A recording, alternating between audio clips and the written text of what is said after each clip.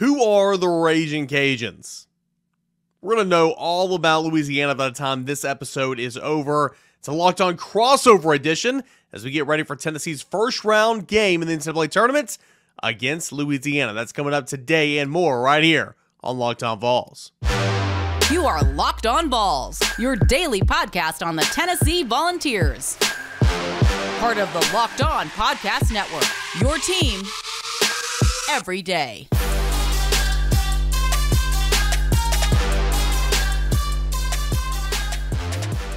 What is good, everybody? Welcome into it. This is Locked On Vols, and I'm your host, Eric Kane.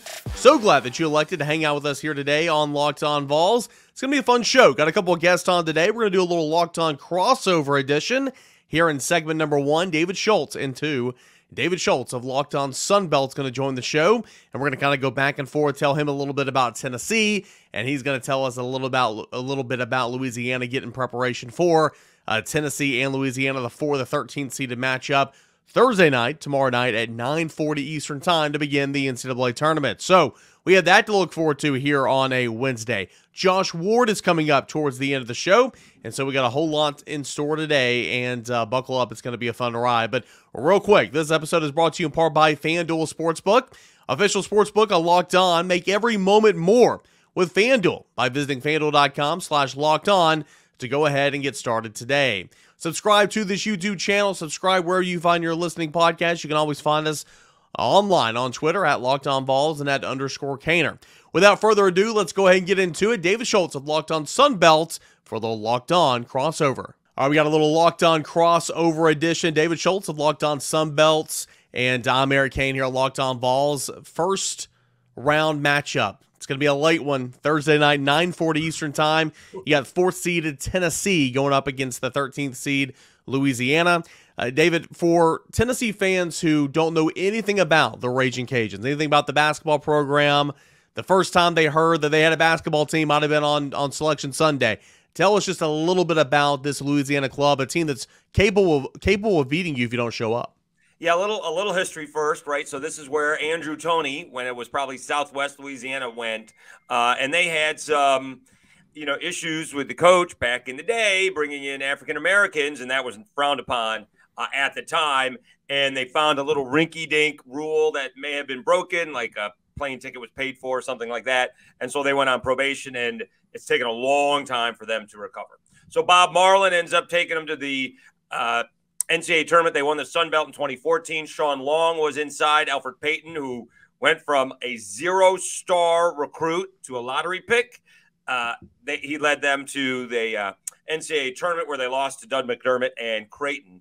Uh, this one is a little bit different because uh, they have a bunch of Robins to the Batman. The Batman mm-hmm. is Jordan Brown, and we'll get to you know what you know the big thing is is how are they going to defend Jordan Brown? uh, against South Alabama in the first two games that they played the Jaguars, he was 22 of 27 combined. He missed a combined five shots.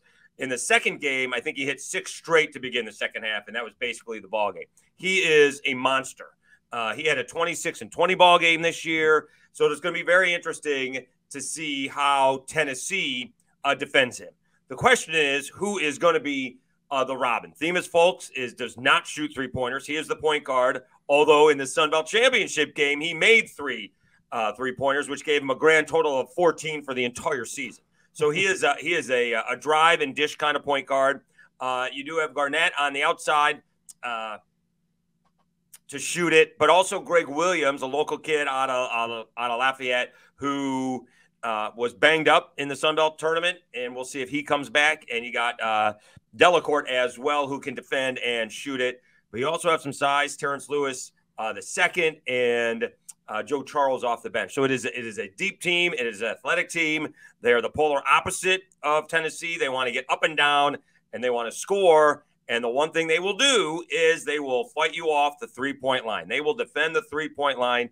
They will you know, give up all the twos that you want, but they're not going to give up threes. And that was one of the keys to defeating South Alabama in the Sun Belt Championship game. Isaiah Moore doesn't shoot threes, although he made one in that ball game. He had 33 points, but the Cajuns come away with a victory because uh, South Alabama was only three of 10 from three point land. It looks like Louisiana has three players that average in double figures. Of course, Jordan Brown, as you mentioned, uh, close to 20 points at 19.4. Mm. Greg Williams at 13 and Terrence Lewis at, uh, at 11. And you mentioned the three point. I know talking about defending it, but uh, kind of in my research, and tell me if this is on base or not, but it, it looks like offensively, Louisiana can shoot the three. They just don't always yes. rely on the three. Like when they shoot it, they, they're typically efficient with it, but that's not necessarily their game offensively. Is that is that right? Oh no, he's an analytical guy. Yes, he wants to shoot. It was a big deal for me when I was covering the Cajuns back in the day. Uh, they would they shoot threes and layups. They are Alabama. That's what they like to do. Now against South Alabama in the uh, Sun Belt Championship game, they turned Jordan Brown because they were double teaming him. They turned him into a jump shooter, and he can make a 15 foot jumper if if you leave him open. No, but they are looking to shoot threes or layups, uh, get fouled, go to the line. That is the one issue that they have. They are not a good free throw shooting team. Jordan Brown is not a good free throw shooter. These games tend to come down to that, so that could be an Achilles heel uh, for the Cajuns. But no, they want to shoot threes and they want a layups. They are not a, a mid range shooting team. Well, it's funny because Tennessee is a horrific free throw shooting team as well. So I think I did see a stat to where, like, I think Tennessee may be in the 200s and Louisiana may be in the 300 in in terms of field goal or free throw percentage. Or it, it's both teams are way down there, which is not great. Um, how has Louisiana been in big time uh, games this season? I, I, see the the combined quad one and quad two record, I believe, is one and five. Uh, when when they've been on that stage against a Power Five opponent or whomever, kind of how have they looked? Well, they got rocked by Texas uh, earlier on the season, but then I think they went on like a, a well, I, I think they lost their first two ball games in the Sun Belt, but they collected themselves and they won 10 straight. And they had a big ball game at home against Marshall, which was maybe bigger for Marshall, and they couldn't do it. Uh, they beat Southern Miss at home. Uh, and then they they stubbed their toe a little bit, honestly. They they lost to Southern Miss. Uh, Southern Miss had their biggest crowd in five years there, almost 8,100. Uh, so that was a factor. They had some travel issues getting to Troy's. They uh, did not uh, play well in the second half, and then they lost a third game in there. Uh, so they lost three or four, but the schedule kind of turned. They got Arkansas State at home, and then uh, South Alabama, which is a bad matchup for South Alabama. And then they kind of ran through the Sun Belt Championship. They got a double bye. Uh, they took care of Georgia Southern with ease. Texas Southern is just one of those pain in the backside teams that should not be very good, but are very good. And you know, 12 point leads turned into two really quickly because mm-hmm. they just don't go away. And it, it, doesn't matter how good you are, they just don't give up. Uh, and South Alabama was playing very well. So, uh, you know, they, they, they could have easily lost to, uh, to Texas State and they could have easily lost to South Alabama. Uh, but they were the best team in the Sun Belt. They were the preseason pick. Uh, some teams, Marshall and Southern Miss, had some huge turnarounds from the year before, uh, but they are very talented. when they went to um, play again. Uh, Creighton, Sean Long got into foul trouble. This is a decade ago, and so it was it was a tough a tough deal because Sean Long was playing very well uh, at the time. I think they tied it early in the second half, but they just could not hang because he continued in foul trouble. And that'll be one of the keys. If if Jordan Brown or the game is not called, where every little touch foul is uh, is uh, the whistle is blown, they uh, you know they, Jordan Brown can hang. He will be. I'll be surprised, Eric, if Jordan Brown is not the best player on the court. He could be the best player on the court a lot of times that is who wins the ball game, but maybe yeah. not in this case because it's it's a you know power five versus group of five. But Jordan Brown entering the game, Jordan Brown's the best player on the court. Yeah, and that's last last thing I have for you in terms of a scout here for Louisiana. Uh, Jordan Brown, correct me if I'm wrong. I believe he signed at a high school in Nevada. Uh, with, yes. With, yeah, and then he went to uh, Arizona, correct. and then now he's at Louisiana. Former five star, right. six foot 11, 225 pounds. Again, 19.4 points per game, 8.7 rebounds per game. Why is he going to be the best player on the court? Not disputing that because I, I think you're right. What does he do well that's going to impact the game and give Tennessee trouble? Well, he is a rebounding machine. Yeah. All right. Even when he only had like uh, 16 points, I think, against South Alabama, uh, I still think he had like 15 rebounds. Uh, he's a rebounding machine. He is not the most athletic of all guys, right? Uh, he's not necessarily going to beat you down the court, uh, but he's going to block shots and he's going to rebound. And he's really good getting the angles. He's really good with his pivot foot. He's really good with the pump fakes. And he's really strong and he's really big. And they don't have those. We don't have those kind of guys in college basketball or anywhere for that fact of the matter uh, that much anymore. So he's a mismatch for most. And so when we come back, it'll be interesting your thoughts because I'm going to presume that Tennessee is going to see how good he is and then decide whether they double team him or not. Hmm. Uh, and he did a good job getting rid of the ball against South Alabama. He had some turnovers. They were physical with him, uh, but you know his player, his uh, teammates stepped up. So it'll be interesting to see how he is defended because uh, he's re- he's really good. His father played for the Cajuns. Uh, they almost got him coming out of high school, but went elsewhere, and, and now he's back and you know took him to the Sun Belt championship game last year and, and won the Sun Belt championship this year. So he's he's really good and he's tough to defend because not only is he good under the basket, but he can step away, you know, and hit an elbow jumper. Four seeded Tennessee going up against the 13th seeded Louisiana in the East region, 940 Eastern time, CBS the telecast. That's coming up first round action uh, for these two teams on Thursday night. David Schultz got locked on Sunbelt, Eric Kane locked on Vols, little locked on crossover edition. We'll talk about the Tennessee Volunteers when we return. But hey, it's just a little bit past the midway point of the NBA season. It's the perfect time to download the FanDuel Sportsbook app. It's America's number one sportsbook. Plus, we're talking NBA here, but hey, it's NCAA tournament time, and you can put some coin in your pockets. You can bet on the money lines, the totals, the spreads, individual player props, all that and more with the NCAA tournaments, and that's over at uh, FanDuel Sportsbook. New customers get a no sweat first bet up to $1,000. It's bonus bets back if your first bet doesn't win. Just download the FanDuel Sportsbook app. It is safe, it is secure, it is super easy to use. You can try everything from, again, the money line to the point scores, the three pointers drained, number of rebounds. Those individual player props are super, super fun over at FanDuel Sportsbook. FanDuel even lets you combine your bets for a chance at a bigger payout with same game parlay. So don't miss your chance at no sweat first bet up to $1,000 and bonus bets back if you don't if you go to fanduel.com slash locked on that is fanduel.com slash locked on to learn more. Fanduel.com slash locked on. Make every moment more with fanduel the official sports betting partner of the nba all right we are back. Locked on sunbelt crossover edition with locked on Vols host eric kane we're talking Ragin' Cajuns basketball and Tennessee Vols basketball, 940, allegedly tip off Eastern time on Thursday night. Uh, let's talk about the health of both teams. You know, Greg Williams got injured in the Sun Belt Conference tournament, but obviously uh, Zakai Zeigler is out with a uh, knee injury from the end of the season. Uh, how uh, how otherwise how healthy is uh, is Tennessee, Eric, heading into this matchup? You know, David, it's it's been a beat up team, man, and you know a lot of that's contributing to the five and seven record for Tennessee entering the NCAA tournaments. Uh, but you know, outside of Zakai Zeigler, Tennessee's in good shape right now, right? Josiah Jordan James has missed a lot of the season in and out of lineup with a knee injury. Uh, Julian Phillips has missed a lot of February's games with uh, with a hip flexor.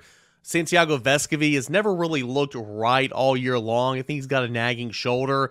But all those guys are going to play. You just are not going to have your your all SEC point guard and Zakai Zeigler, who is one of the few guys offensively that can create a shot for himself for Tennessee, but a fantastic perimeter defender, arguably the best defender on this team and the spark plug for Tennessee. Uh, that's the only one in Zakai Zeigler that's really going to be out that's going to make a big time difference. All those other guys should uh, be in there and playing, but it's been an, an injury filled season for Tennessee, no doubt. So that that is a tough thing because you know last week, if we were watching, everybody, a lot of places had Tennessee playing Louisiana, uh, and then all of a sudden Duke won the ACC, and then they switched it up, and then it ended up being Tennessee because I think that's a good matchup for the Cajuns because of the injury to Zeigler. If this was, if Zakai Zeigler was in there, I would not give the Cajuns much of a chance. I think they have a shot to pull off this upset. Uh, usually, and this is two, they're two different kind of kind of teams, right? Cajuns want to get up and down, and Tennessee wants to be methodical. Uh, when you're looking at Tennessee's uh, wins, the other team rarely scores over 65.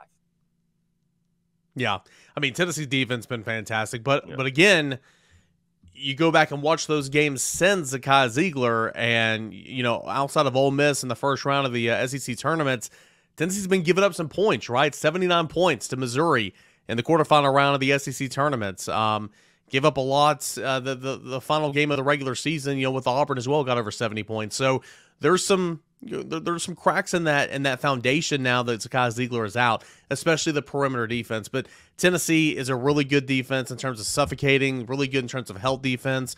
They play zone. They've also played man that can switch some things off and do a couple different things. Number one rated defense in the country in terms of uh, you know the, the defensive efficiency ratings and and KenPom as well for I want to say about 14 weeks now. So uh, this is a defense that is really, really you know solid, but it is it is not as good without Zakai Zeigler. I'm just going to point that out there. So, you know, we'll see. Um, it, it's going to be in- intriguing. They do a good job of adapting to different types of offenses. I think they can run with anybody. Um, but the way they play suffocating defense, I'm intrigued to see how that hinders or, or faults the the pace of play and the, the, the fast breaking mentality type of trying to get up and down the court for Louisiana. I think it should be a good matchup. But Tennessee shut down some of the better offenses in the country this year, and uh, they're going to be up for the challenge on Thursday, I would imagine. All right. So then, how do they go about defending uh, Jordan Brown? You know, the Cajuns' inside post player. Do they start off double teaming, or do they test him, or uh, how does that work?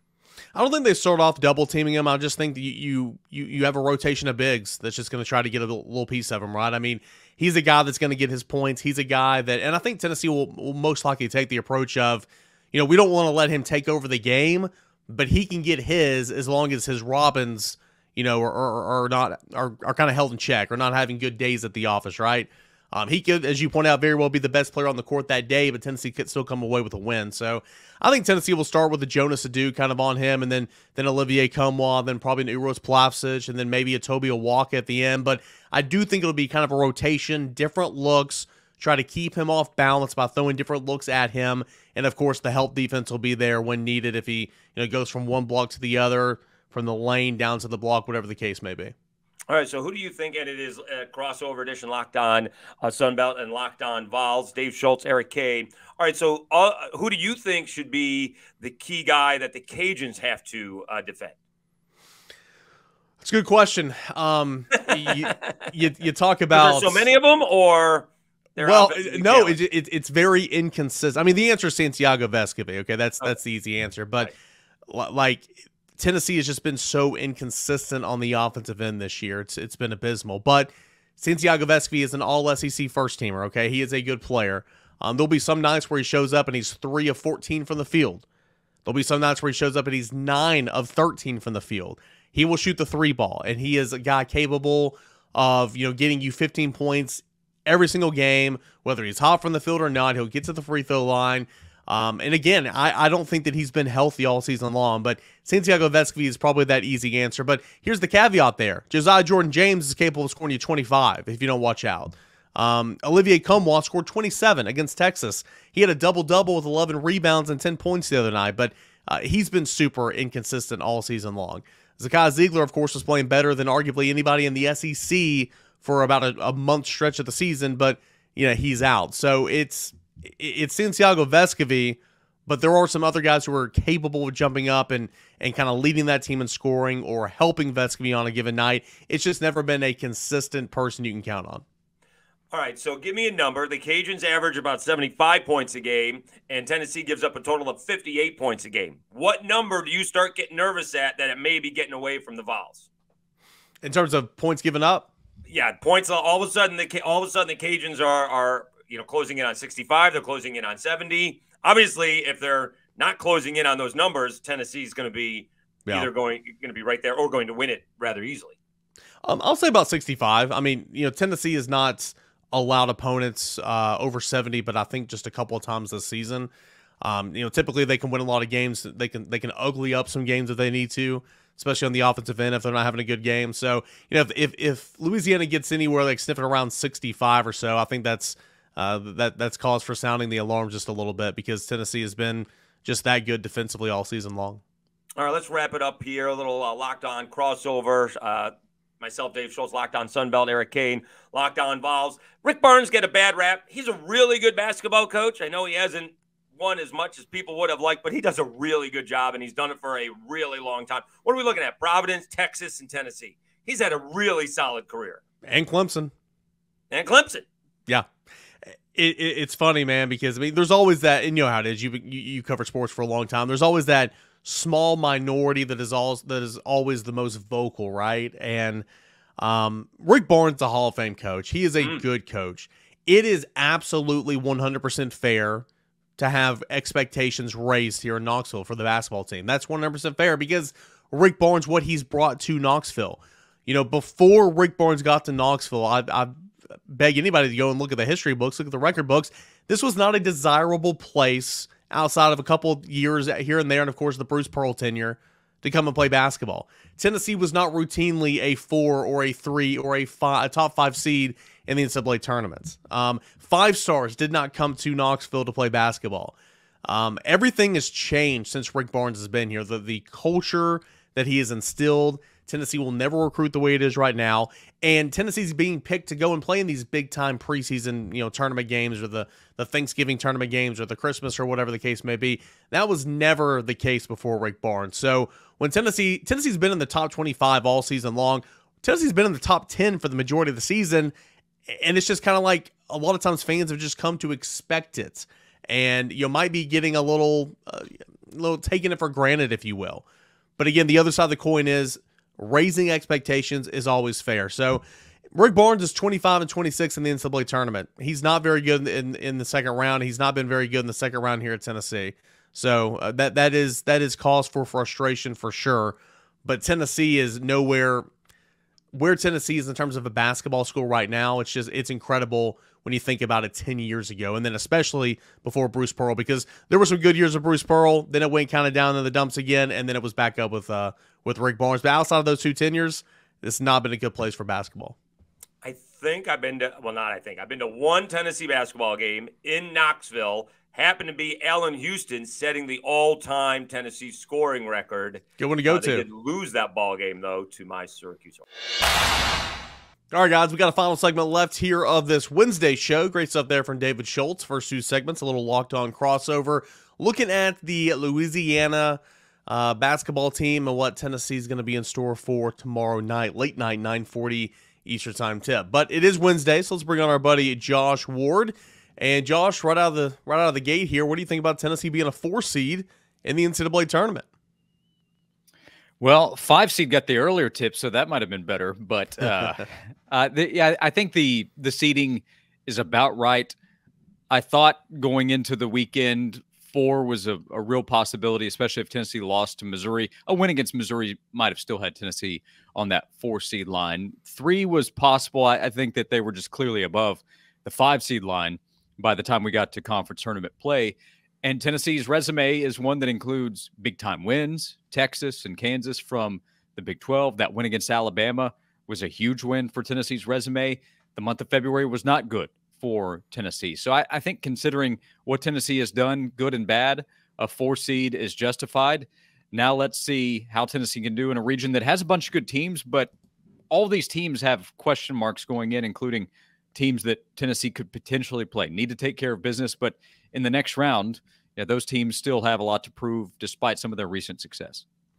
Yeah, on Sunday night, when my, kind of my immediate reaction when I'm looking at this East region, I'm like, man, Tennessee got arguably the toughest region, and I'll back I'll back down on that. I don't think it's the toughest region, but I think Tennessee's draw is pretty tough because yeah, Louisiana on Thursday, which Seth Greenberg's already saying, mm-hmm. hey, that's going to be uh, the the trendy upset in round one.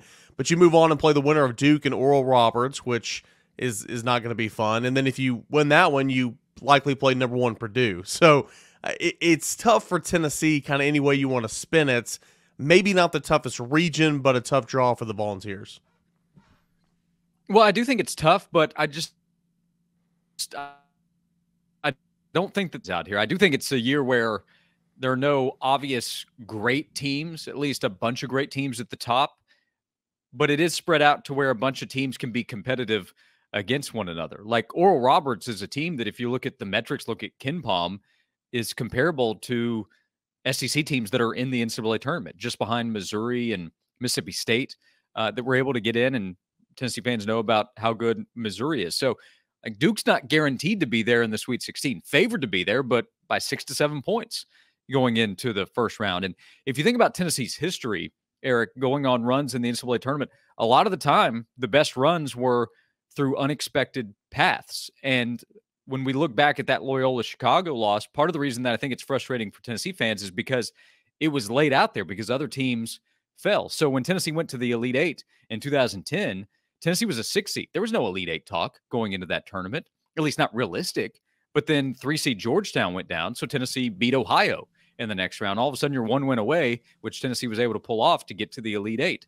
in 2014, Tennessee was an 11 seed in the play-in round, but uh, took advantage, played really well against Iowa, uh, beat uh, a, a six seed, and then in the next round was Mercer because Duke was out. So you never know exactly what you're going to have to face. Just expect that you're going to have to face teams that are quality opponents because they're in, in the NCAA tournament for a reason. And by the way, if you if you take on a, a lower seeded team, the the quote worst team, well, they might be hot when you face them, like a Loyola Chicago was. So there are no guarantees. That's why Tennessee needs to avoid what its problems have been the last couple of seasons, going completely cold, not showing up. If Tennessee shows up, even without Zakai Zeigler, it is still capable of going on a run. I, I know what you can say about the odds at this point. I understand it completely, but Tennessee is the favored team in this 14 bracket to come out of it, not Duke when you look at the brackets overall, look at all four of these regions, kind of what do you think? Alabama getting the number one overall seed, Houston, Kansas, Purdue, the other four seeds.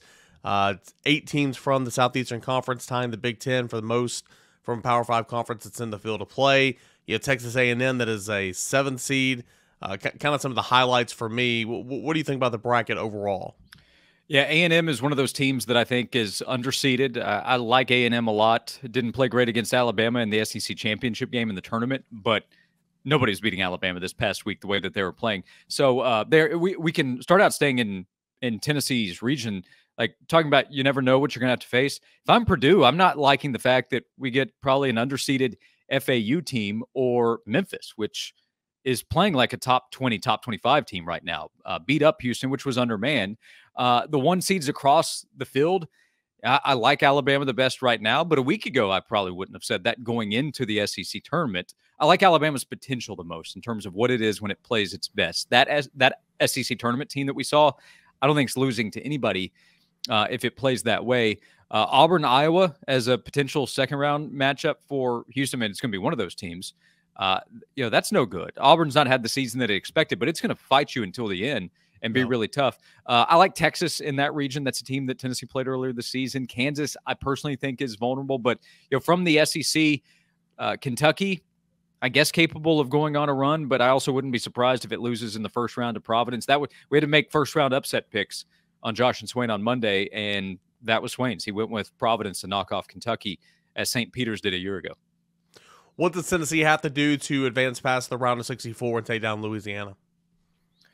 Well, Tennessee needs to lock in defensively because it has not done that against tournament teams over the last couple of weeks, uh, at least uh, since it started playing without Zakai. Big second half for Auburn, big second half for Missouri was too much for Tennessee to keep up with.